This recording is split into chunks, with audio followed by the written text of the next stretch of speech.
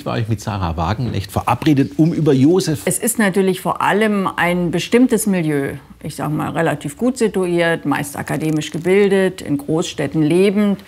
Das alles ist aber noch kein Problem. Das Problem ist, dass es Menschen sind und auch Meinungsführer dieses Milieus, die glauben, dass sie ihren Lebenswandel zum gesellschaftlichen Standard machen können. Kommt dazu die biologisch korrekte Ernährung, dass man in der Innenstadt wohnt, da macht man viele Wege mit dem Fahrrad, die man sich leisten können muss. Und wenn Leute glauben, dass sie anderen vorschreiben können, wie sie zu reden, zu leben, vielleicht auch zu denken haben, was sie zu essen haben, dann ist das eine selbstgerechte Attitüde. Und in Teilen eben des linken Milieus gibt es das und ich bedauerlich finde, weil ich wünsche mir ja eine stärkere soziale Politik. Liberale. Ja, das sind Menschen, die sich, die sich vor allem über ihren Lebenswandel definieren und die davon ausgehen, dass also ihre Privilegien eigentlich eine persönliche Tugend sind. Und die deshalb das öffentliche Meinungsbild prägen. Das ist tatsächlich so in vielen Weise höhere Spritpreise. Und ich meine, natürlich bin ich auch dafür, den Klimawandel zu bekämpfen. Also das ist nicht die Frage. Aber die Frage ist ja, wie. Kosten von 50 oder 80 Euro im Monat wegstecken können.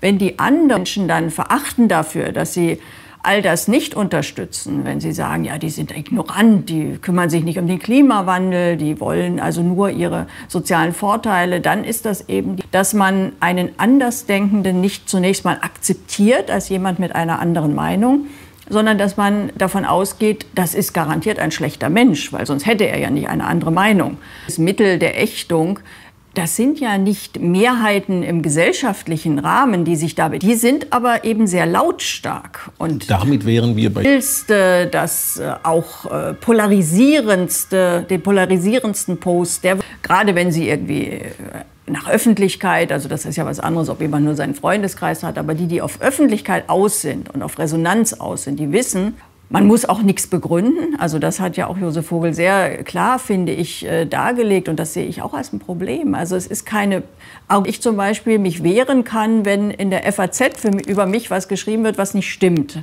Dann kann ich äh, dagegen rechtlich vorgehen. Wenn bei Facebook zum Beispiel Zitate mir in den Mund gelegt werden, die ich nie gesagt habe, gibt es gar nicht wie eine Zeitung ja. eben verantwortlich für, für die, Inhalte. Inhalte. sondern sie können das alles äh, reproduzieren.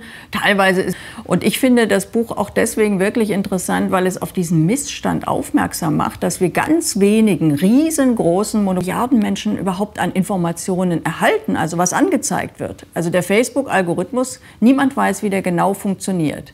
Zulässt. Und weil natürlich diese Unternehmen einen, ein sehr erfolgreiches Lobbying betreiben, weil sie, der klassische Grundsatz des Ordoliberalismus ist ja, dass kein Unternehmen so groß werden darf, dass es im Grunde Politik kaufen kann. Vogelvergleich. Sie übernehmen ja auch immer mehr Funktionen, die eigentlich der Staat bereitstellen müsste. Also es sind ja deswegen auch Plattformen, die sind ja Infrastruktur. Zum Versuch der Währung. Gesundheitsbereich. Ich meine, wir haben jetzt erlebt, gerade in Corona-Zeiten, wie problematisch das ist. Hätte man ja sagen müssen, okay, man, man, es gibt eine öffentliche Plattform, da ist auch transparent, welche Daten werden gespeichert, welche werden nicht gespeichert. Viele dürfen eben dann nicht gespeichert werden. Aber diese gibt es nicht. Es gibt keine öffentliche Infrastruktur für die Digitalisierung des Gesundheitswesens. Und damit ist das eine relativ private Unternehmen, immer mehr Daten bekommen. Daten über uns, also Gesundheit ist ja etwas ganz Elementares. Und sie machen Geschäfte mit diesen Daten. Und äh, am Ende wundert man sich, dass man Algorithmus rausgefiltert hat, na, der wird vielleicht nicht mehr so alt. Oder dass man einen Beruf nicht, einen Job nicht kriegt, weil irgendein Algorithmus die Daten so ausgewertet hat, oh, der ist vielleicht öfter krank. Also das schleunigst gestoppt werden müssen. Also deswegen habe ich ja auch in meinem Buch in dem Kapitel über Digitalisierung gesagt, wir müssen in Europa einen anderen Weg der Digitalisierung gehen. Wir dürfen nicht diese Datenkraken den Welt also dass man tatsächlich, ich meine, Herr Altmaier hat ja uns diese europäische Cloud immer als, als Gegenentwurf, als eine europäische Souveränitätsinkarnation verkauft. Und dann ist ja letztes Jahr öffentlich geworden, wer die strukturiert, diese tolle Cloud, Google verdrängen muss weil sie ja wirklich, also ich meine, wir haben ja eine, eine, eigentlich gar nicht so schlechte Datenrichtlinie. Die Daten können transferiert werden, die Daten können geschäftlich verwendet werden.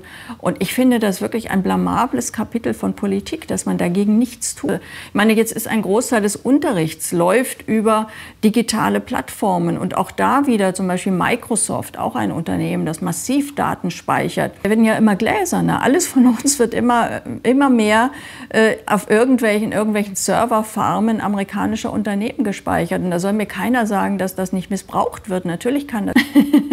ich kann es mir nicht vorstellen. Also ich gebe zu, als Politiker muss man fast schon einen Facebook-Account haben, um zu verlautbaren. Aber ehrlich gesagt, privat würde ich auch keinen haben. Also, weil ich finde, das ist ja, also mir ist das zuwider. Auch diese Entmacht, aber sie haben natürlich ein gewisses Eigenleben. Mhm. Und äh, das beeinflusst am Ende immer mehr, äh, wie wir leben und, und was passiert. Und natürlich auch die ganze Entwicklung Richtung selbstfahrende Autos. Das ist ja gar nicht so sehr, dass die Leute sich da